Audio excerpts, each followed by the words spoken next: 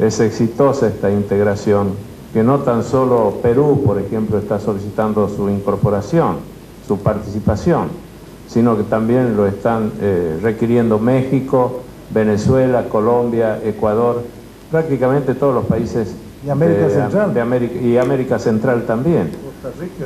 Costa Rica, este, ahora vamos a conversar con motivo de nuestra visita a Nueva York eh, para participar de la Asamblea General de las Naciones Unidas con algunos otros presidentes del área.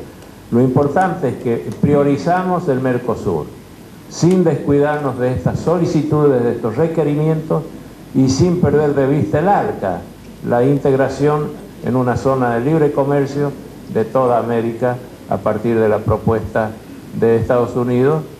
Ya tuvimos una reunión cumbre en Miami y ahora la vamos a tener en Santiago de Chile.